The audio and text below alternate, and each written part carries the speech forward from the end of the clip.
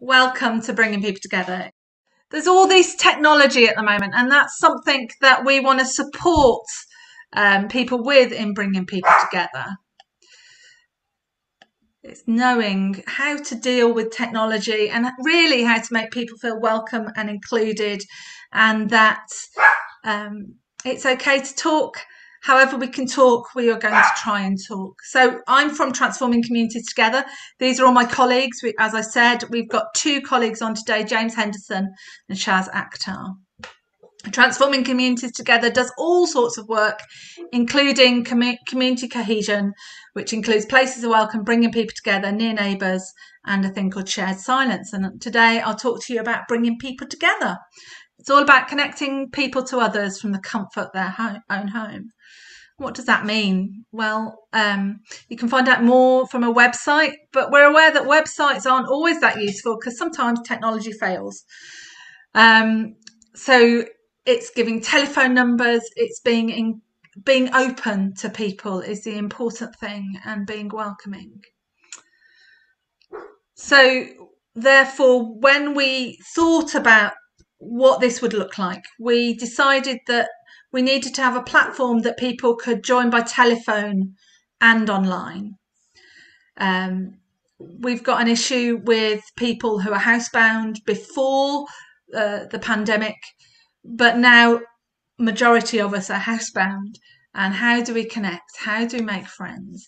We thought we needed to make sure that um, it was still quite neighbourhood based. So all of our groups are based in an area. Some areas are bigger than others. And we want, because that will include long ongoing friendships that may develop outside of a bringing people together group. They're connected by a host. Um, we actually ask for two hosts. Um, and then we have an organisation who serves the community. And we have a set of the same principles that are all about inviting everyone, welcoming everyone, and respecting everyone and it starts. Um, it was a it's a pilot across the Black Country, Staffordshire, and North Shropshire.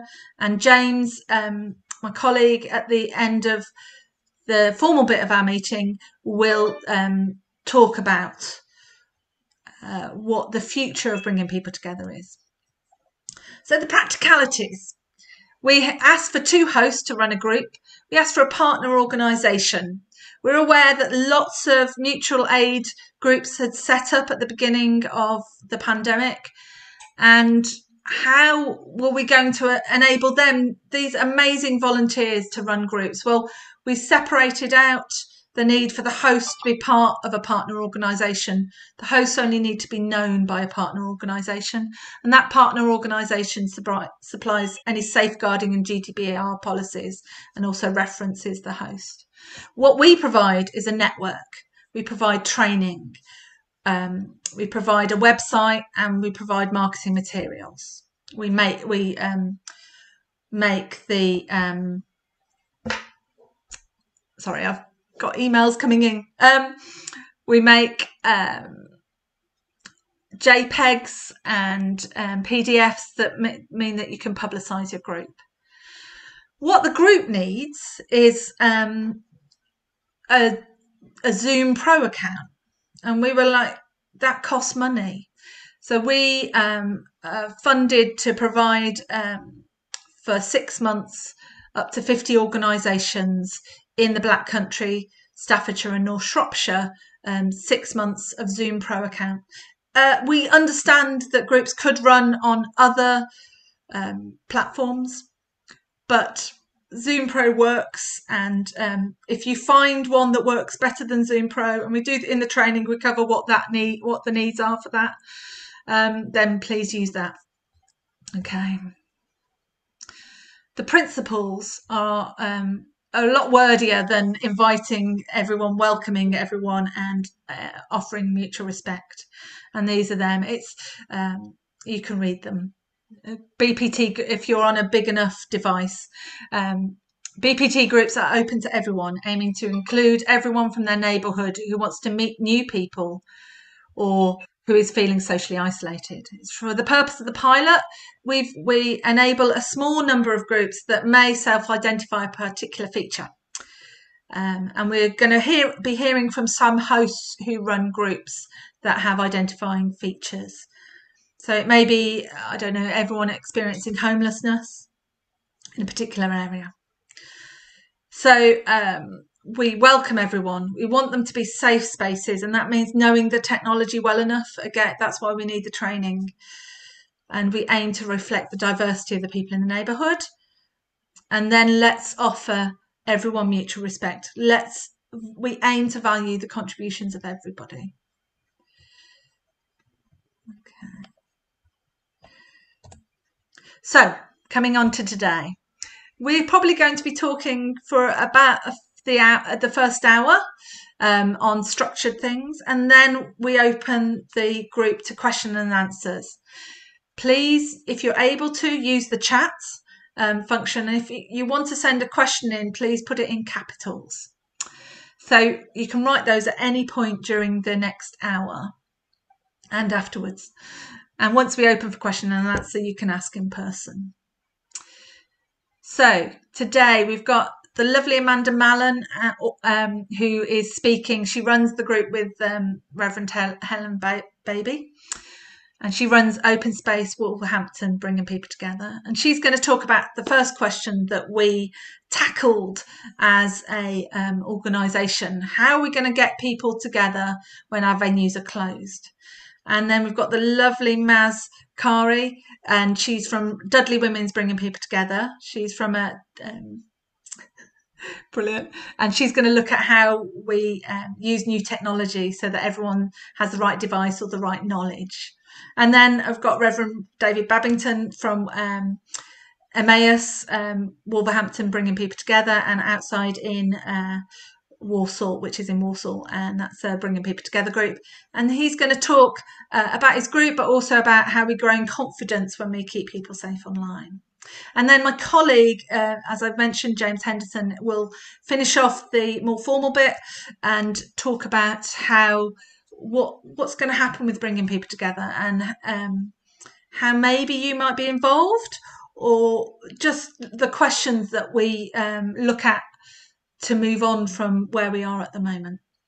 So now I'm going to hand over to Amanda. Let me stop share.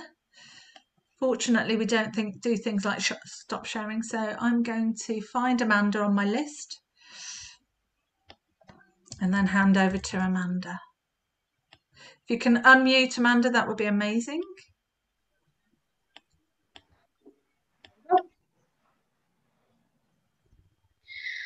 Good morning, everybody.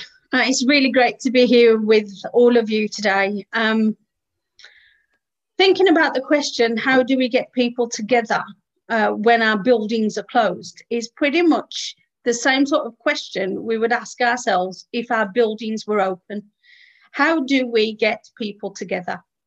How do we tell them that there is a place for them, that they are welcomed, that it's open to all, that they can bring their dogs if they feel the need, um, that they can be themselves? How do we do that? Um, and that's what we were doing in our places of welcome when our buildings were actually open. Uh, and it, we used to, you know, attract quite diverse groups of people. So it seemed to Helen and I that it would be a logical step that if we couldn't meet together, that maybe we should move this online and do these virtual coffee mornings because we are filling and meeting a need in our communities. Every one of you will know the needs of your community and the, the requirements that people in and around your communities um, would look for in a place. Now, if you can't physically go out and find that, the way we need to move forward is is basically just getting the word out there that there is a place that people can come. And you know what? Just have a rant if they feel the need. Everyone needs a rant every now and again um, particularly in these times because friends these are really difficult times that we're living through um, and I don't know about your groups, but even though our group is open and welcoming to everyone, we have seemed to attract uh, a certain kind of, of people at this point. Um, people that may have specific mental health needs um, and need a little bit more support and are feeling very isolated by being stuck at home. at least this way, it gets them out of themselves. Um, and we've been doing all sorts of things. I know Sue was talking a bit earlier on about what we do in the first few minutes. Uh, we've we've had videos playing where we've been on live zoo days. Um, we do quizzes every week. We've had um, a get a name that tune type of thing, all sorts of things, just to get the conversation going. Uh, and there is sometimes when you know what there is no conversation, but that's okay because we are together, gathered in the one place, and it's about making people comfortable to say nothing or comfortable to say whatever they need to do.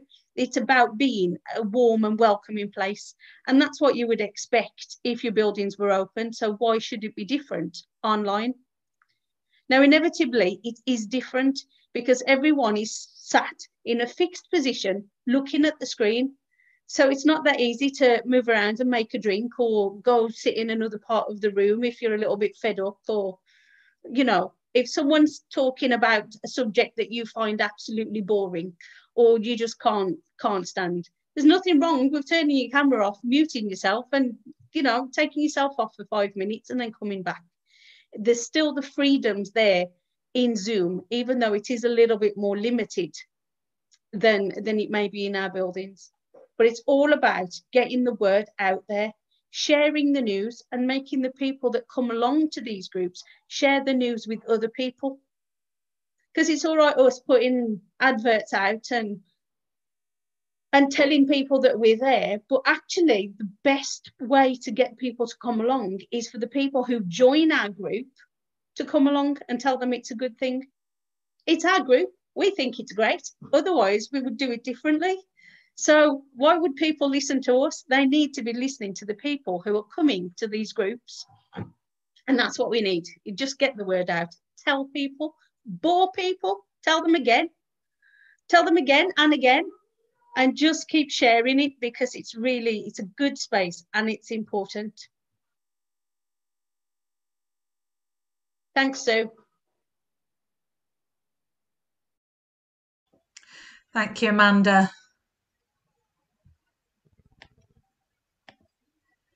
There we go. And so I'm now moving on to our fabulous Maz.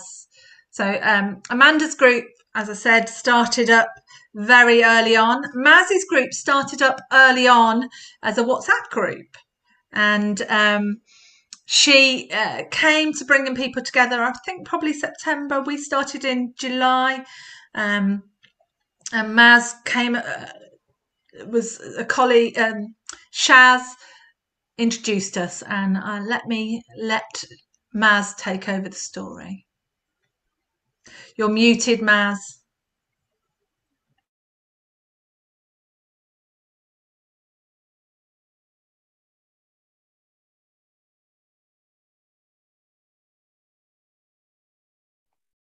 Good morning, everybody so lovely to see so many faces. And thank you, Sue, for giving me the opportunity to share our group's experiences of connecting with our service users and members in the pandemic. I'm the managing director and founding member of Turning Points. It's a group supporting women predominantly from the South Asian communities in Lai who have language barriers among so many other barriers.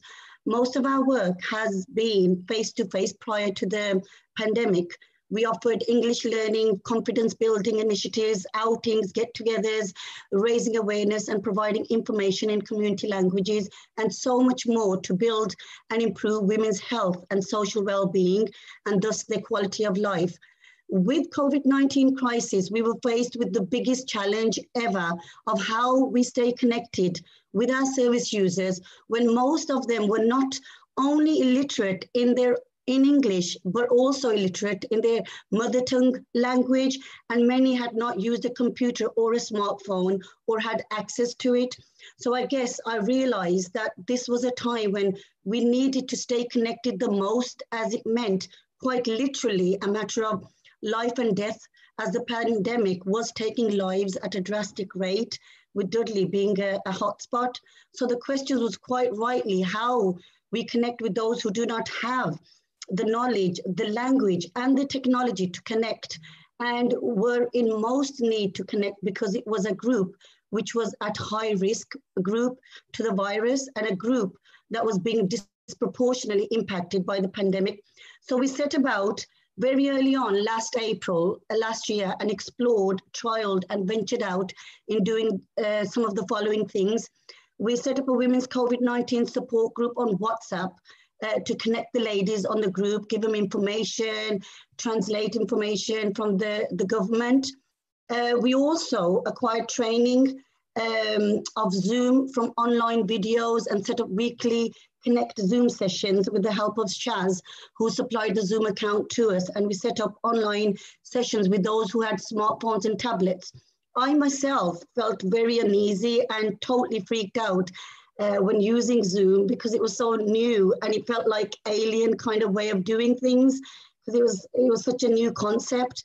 The challenge of making others feel at ease and making them feel welcome with the added challenges of language barriers and the need to be patient and creating an atmosphere of everyone feeling involved and engaged was all whizzing around in my mind in each session, prior to each session, and also not forgetting the planning of each session that we had to do, sending out reminders and translating details and supporting those who were feeling totally uncomfortable with, with this concept of Zoom and coming online.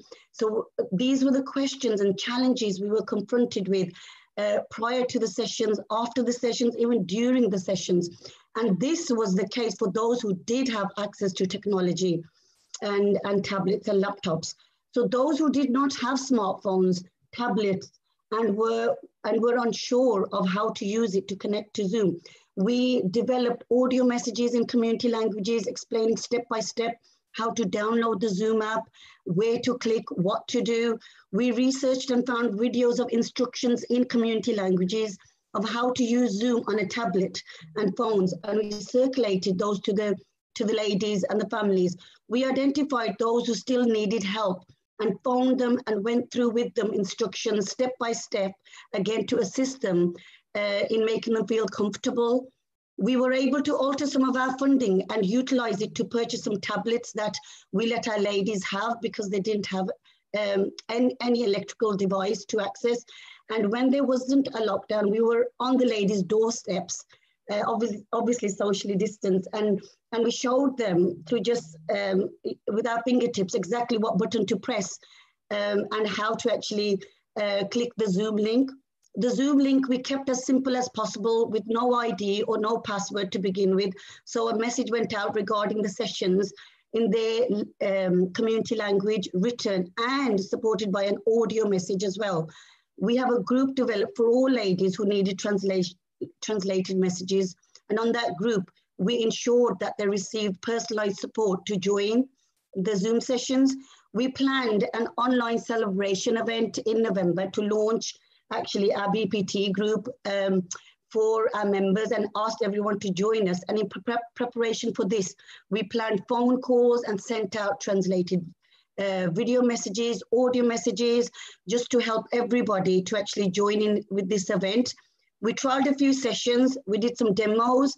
We were told all, um, where we told all the ladies to connect to this demo and how to do it, just so we could get a feel of the ladies uh, were able to um, follow the instructions that we've been handing out and showing them.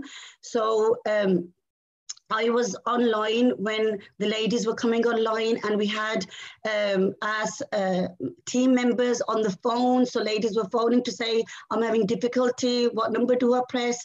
Or what click, uh, what link is it? So we had ladies helping them in their community languages whilst we were online and and and trying to uh, do the demo of showing them what the icons meant in their languages as well as English.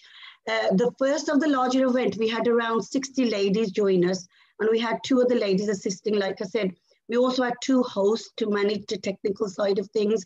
We then had another larger event planned for December, where we had over 100 women connect, and we were obviously feeling uh, exhilarated. We did all what we did uh, in, in all the previous sessions before, and we did so much more to ensure that we actually get as many uh, of our members online. and we did so much in preparing for the event and we were like i said so glad that we were able to uh, get so many ladies and their families online and although we had uh, the maximum 100 people get on zoom to that session on each of the devices there were at least two or three people part of the family on there so we had well over 100 uh, i would say at that event so in a nutshell how were we able to connect these ladies is that we offered personalized, culturally and linguistically appropriate support to help them get connected. We remained in regular contact over phones, WhatsApp messages, and online activities. And we even went to the extent of providing them with electronic devices and tablets by discussing with our funders how we better manage some of the funds to meet the immediate needs of our clients. We are proud and delighted that we have helped in this pandemic to get our members online, many of which have never switched on a com computer before. We have further built on the need of connecting these women in times of difficulty, which has enabled our service users to stay connected and grow from those connections, feel part of a community by joining the groups that we've got going. They've been expressing themselves creatively and artistically through weekly challenges and activities. They've been, eh, been able to make their voices heard, especially people who feel cut off or excluded um, and they've been sharing their stories and issues and fears. Looking, they've also been looking out for each other and sharing acts of kindness, reaching out to the vulnerable on their streets, their neighbors, and, and sharing those stories with us. And, and also what's so brilliant to see is that they've actually been able to brace technology. They've been able to brace and you know overcome some of their fears. So the knows and don't knows and don't want to try have now become cans and do's and will do, which is which is really great for us to see and hear. We have been sharing prayers, hopes, wishes, and messages of comfort and emotional support, connecting, uh, you know, connecting women, and also the adaptation and processing of grief and changes in lifestyle has become a prominent aspect of our group in terms of the activities and, and, the, and the WhatsApp group we have, where women have been reflecting on what's important and, and, and being grateful and taking the time to focus on health and wellness. And as a result, we have, we have a very proactive health and wellness group, which now has a dedicated wellness guru um, who supports women on a daily basis about what they're eating, about how to look after themselves, taking time out, fitness videos, sharing recipes, chats, uh, you know, so much for these women to actually not just stay connected, but build and grow from the connections. We have been able to inspire people, hel helping them in turning the tide we are documenting stories of women and the experiences. We're doing blogs to celebrate International Women's Week that's coming up and so much more. And to just to finish off, I want to say thank you to Shaz from Near Neighbours and the Near Neighbours team for getting us on Zoom at the very outset, the start of the pandemic when you know we needed the opportunity to start looking into how we bring these women online and activities online. Thank you to Sue and the BP team. Um, who have given us the training and the support and the opportunity and the encouragement to continue and build on our work, and who have been giving us these sort of opportunities to share our stories, to share our experiences. And, and I think it's really important that we do a lot of sharing because it's through sharing and and, and telling people about our challenges and our fears and how we are overcoming them that we can actually grow and learn and, and, and build these experiences into our own ways of working so that we can try and uh, you know to provide the the support that our, our, communities need so thank you so much for listening to our experiences and and um, and, and it's been it's been a lovely experience being part of uh, BPT and also the bigger overarching near neighbors and TCT. So thank you very much. Thank you, Shaz. Uh, so, Maz, sorry, I can't believe I did that. Thank you, Maz. Maz has been an amazing inspiration to me. Just the amount of work she puts in to keep these women connected, and um, I just keep learning from her. Um, finally, the person that's uh, the next of our BPT hosts that's going to speak is da- uh, Reverend David Babbington. and I'll just spotlight him. He uh, he runs two groups for us. One that's been running and only just joined as a BPT, and one that uh, has been a BPT for a bit longer called Emmaus. And um, he'll tell us more about what he's been up to. Thank you, David.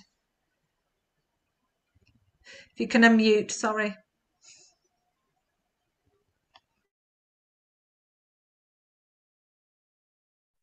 Ah, there we go. I finally did it. Hello, everyone.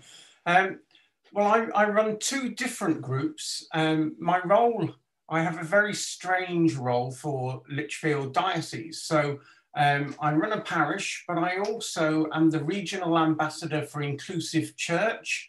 Um, so therefore, I cover the whole area that Lichfield Diocese covers. So therefore, you know, one single person covering the whole of the biggest area diocese in the country. So small job, um, small person. Um, and then on top of that, I deal with all the LGBT issues for Staffordshire, Shropshire, and the Black Country. And so, therefore, these two groups were set up with that in mind. One of the groups, um, I was invited to a church in um, Wolverhampton that were asked me to come in because they noticed that some of their parishioners were asylum seekers. And they were asylum seekers, but as they started speaking to them, they realized that the reason they were actually seeking asylum was because of their sexuality. Now, the sexuality was another area that they'd never ever had to deal with before, so I was brought in. So we had discussions and we would have regular meetings at the church. Then we had lockdown. Now, these people relied upon our regular meetings, and suddenly we had to find something new. So we moved online. The question is how do you stay online and maintain the safety of those individuals um, who rely upon everything that you've got and know that they've got hardly any money at all because they're only given about 30 pounds a week to live on how can they therefore access this service that they need to try and gain their freedom in this country? And so we had to tackle all of these pro- problems all at the same time and work out how to do it.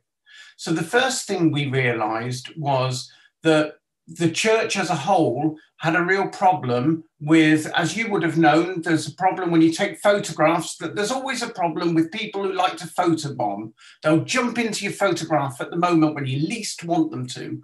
Well, people would sometimes do that with when you'd set up a Zoom account.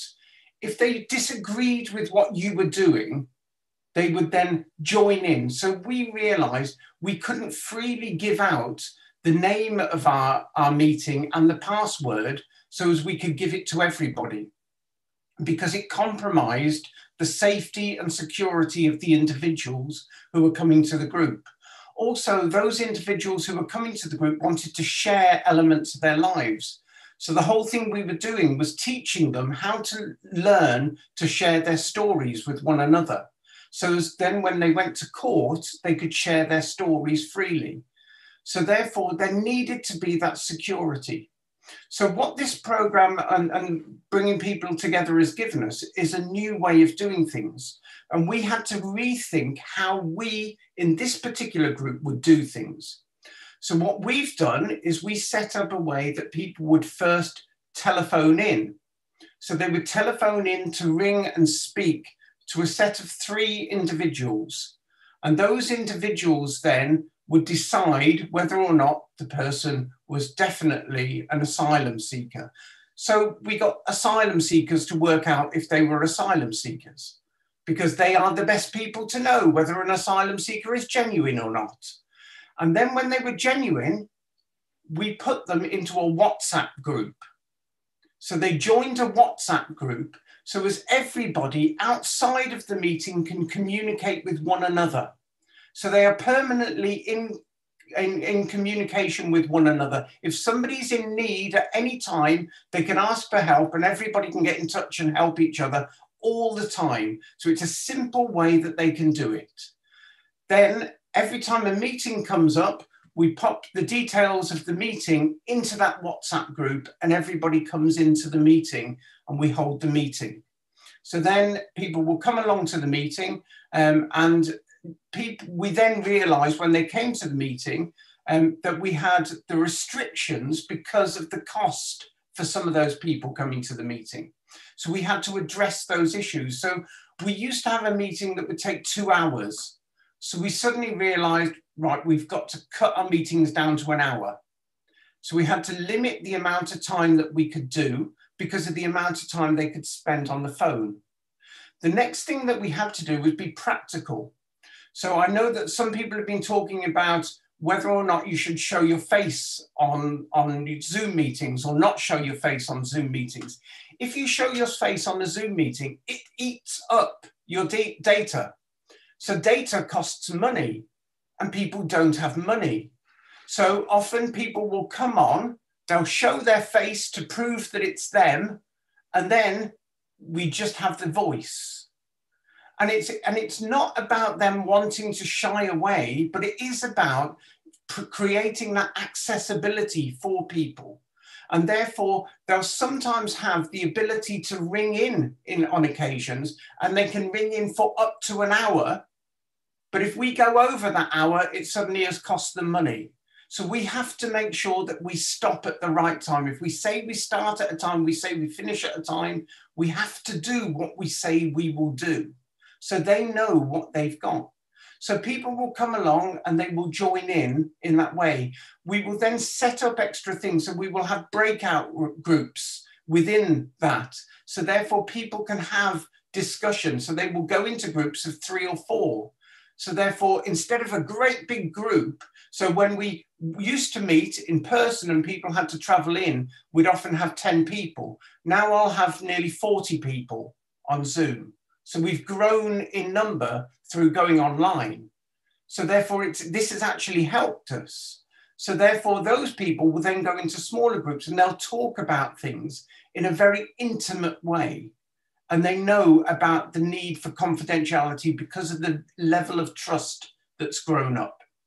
But then we've got another group that's grown up, which is Outside In, which is based in Walsall. And this is a very different group. This is again an LGBT group, but then this group eh, has to look at the whole issue of um, social inclusion for people who feel isolated and alone. And lockdown was a particularly bad thing because there are no social groups for the LGBT community in Walsall at all. So, therefore, what do we provide for people when suddenly they're locked down and they feel isolated, they feel alienated by those around them, and they suddenly have to stay in the same house as them where the people who they're with don't like them? So they need to have people who support them. So we've had people turn up to a meeting and they never say a word and we never see them, but they will sit at home with their headphones on, watching what's going on and typing in a few messages in the chat saying, I can't say anything because my family are here. So we have to tailor the meeting every single time for the individuals who are there. So it's not about a general, generic way of doing things, but every single group that starts up is always different. And you tailor it to who's there. So we've got some people who've come to our group now who are deaf. So we've got somebody who is a who teaches sign language who comes to our group and signs for them. So therefore, we meet the need of what's there. You can't preempt everything but you do what's there. With the group in Wolverhampton, we started off, we were a Christian LGBT asylum seeker group. And what we suddenly found was that we had several people who were Muslim who came along who were asylum seekers. And so we automatically said, well, we both come from Allah. So therefore, we can worship Allah together, and therefore we help each other together.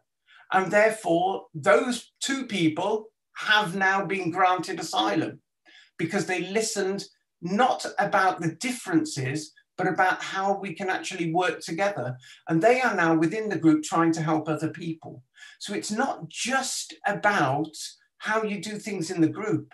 It's about building long-term relationships and about making accessible relationships and the group accessible for everybody. So you tailor it for what's there.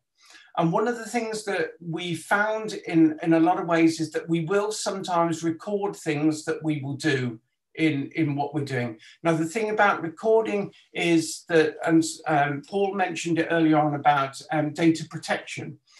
First of all, there is an issue with data protection if you're recording something and you've got music or you've got video and things like that, and you're then putting it out somewhere else, there may be an issue with that.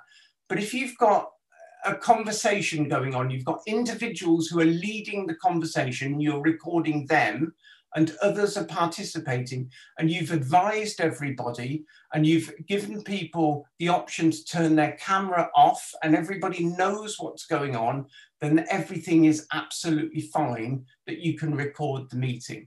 People have the option to leave the meeting if they don't want to be at the meeting, or they can turn their camera off. So you're giving all those options to be able to safeguard everything. The other one final thing that we do is that because it's built into both of them are built into the churches, we build into the safeguarding procedures of the churches. So therefore, the group that takes place in Walsall, in we have the safeguarding officer from the church who actually attends the meetings. So therefore, she is part of the leadership team of the meeting. So we are we place safeguarding as the central element of every single thing that we do. So that's the way that you keep people safe. You put safeguarding at the front and you don't do it as an add on at the end because then it's just natural to every single thing that you do. I hope that helps.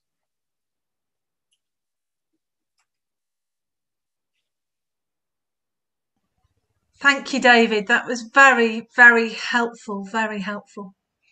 Um, and those are three of our BPT group hosts. I could have chosen um, many of them because each group is individual. I do like to say that um, we don't, um, as BPT, we we BPT is about the meeting, not what happens outside the meeting. It's up to your the individual organisation how they keep in touch with people, because that's quite complex. WhatsApp is quite a complex app because everybody sees the um, details for everyone. So each organisation deals with the connection with their um, their participants in their own way. Um, I'd like to move on. Um, thank you to everybody. Thank you uh, who shared so far. Um, my colleague James Henderson is now going to speak about what's the future for BPT. Thank you. Good morning, everybody. It's, uh, such a privilege to be here and chatting to some of you via the chat today. Thank you so much for your time. Um, so, yeah, we've been delighted to be uh, part of bringing people together. It was an initial idea um, based on our, uh, we do a lot of work with the Place of Welcome movement, which uh, I guess many of you will know. Um, but because they were based in a physical place, um, and physical places sadly weren't able to open. We wanted to look at how we could use those values of open to all and, exclu- uh, and inclusivity and uh, and just a real genuine welcome to start to reach out to people who were at home who were maybe feeling quite lost and and, and quite um, unsafe and quite isolated. And so that's how we were able to work with the National Lottery to come up with this um, idea of BPT, kind of learning from people like Amanda and Maz, who uh, who kind of already um, uh, um, kind of leaders in in that field, I think. Um, and we've got to this stage now. So, so our initial thing was just uh, going to be the Black Country, Staffordshire, and Northern Shropshire, which is the area that our charity works in. Um, but we're delighted to be part of other networks which go England wide. So we're delighted to work with Near Neighbours, and we've got uh, colleagues from Near Neighbours hubs with us today, and we've also got colleagues from the uh, Church Urban Fund Together network as well. And part of the idea of these networks is to share ideas. It's to look at what's working in one area. So we can look at an area that's happening, say in Leicester or something like that, and see if that area, uh, see if those ideas will work in in our area and, and so um, our idea today is just to be able to reciprocate that to be able to look at offering this to other areas. Um, so we have um, been fortunate to get another um, we've we've had another lot of funding from the lottery and as part of that we wanted to just start to explore it was the interest in other areas of the country.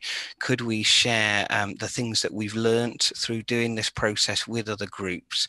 And could we um, start to uh, uh, start to look at that expanding into other areas. So i guess this is just really us dipping our toe in the water really. Um, you've heard, you've heard from some great speakers about what it's like to run a bpt group um, what's on offer.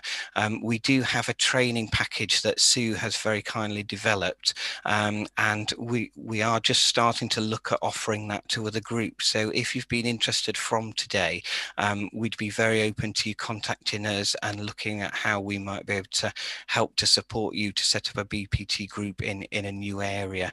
Um, so do get in touch with Sue as your kind of first port of call. Um, we're just wanting to register interest really to get an idea of how many people are interested. Um, and then we can start to look at um, a plan for, for rolling that out in other areas. Um, but uh, yeah, just hugely thankful uh, for you all for, for giving up this morning to be with us.